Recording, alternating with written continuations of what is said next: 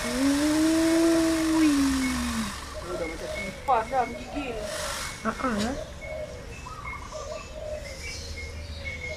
Bunyi dia. Hebat. Jangan nak bagi tahu apa. Oh, aku dah cuba.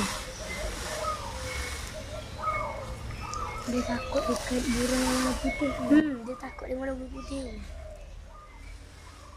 Dia tengok burung putih. Dia takut kat burung warna putih tu sebab dia lari tadi. Ha, dah pergi jalan. Jalan pelan-pelan. Pergi. Cantik lah dia. Eh, halo itik.